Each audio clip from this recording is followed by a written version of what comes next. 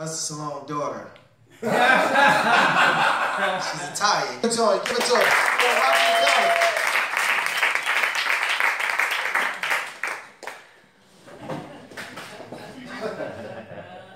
And so, no, um, that's funny. Mimi used to be a soul, uh, soul train dancer. So, uh, just a side note. Um, hi everyone, all my fellow millennials. I found that funny. Uh, cause I'm starting to, I'm realizing I'm at this age now where like the pins make sense a little bit now. Like y'all didn't tell me at 40, like the spigot don't always just cut right off. It don't. Nobody warned me. Um, shit you find out when you're getting a little older. Uh, yeah, a lot of extra shakes in the matter. Uh, anyway, I digress. Uh, I don't want to piss nobody off. Um, so anyway, I want to apologize to that young lady who just was up. Is she still here? Okay. She ran out crying. I uh, hugged her, uh, thinking like, "Oh, Rebecca, what'd you do with your hair?" Uh, It wasn't Rebecca, you guys. Um, I don't think all white people look alike, but she kind of. Um,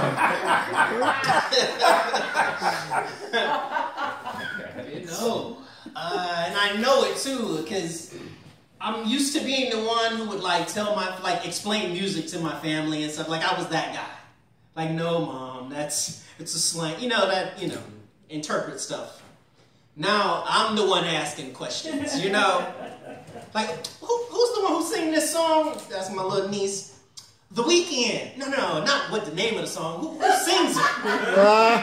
the Weeknd.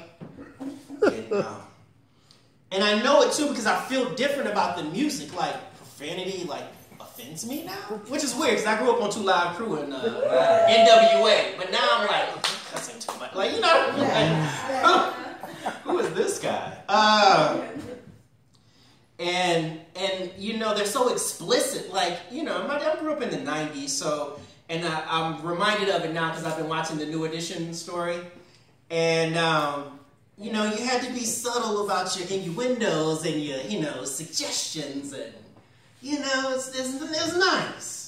But now they just these hoes ain't loyal. It's just so just, it's just so blatant. And you know, and it's like first of all, who told you a hoe was supposed to be loyal? and second of all, you must not have ever met a bottom bitch, because uh, I'm some of the most loyal. Hoes you will ever find. Again, I digress. Um, but uh, what I miss is, you know, because these young boys, they just speak to women any kind of way. And, and it's funny, I was reminded as the little skinny comic was talking about trying to be a tough guy.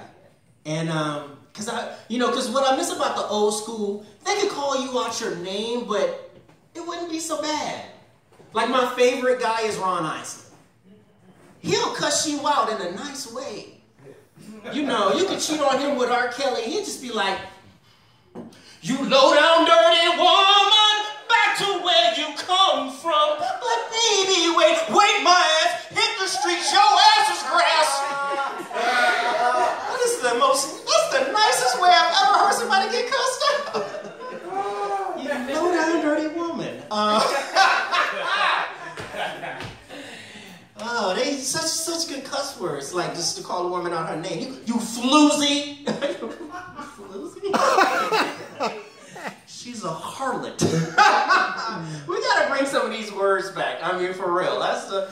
I like to throw these young girls off their game. Be like, all right, now heifer, watch yourself. You know, just throw one of them old school ones in there, just to catch them off guard.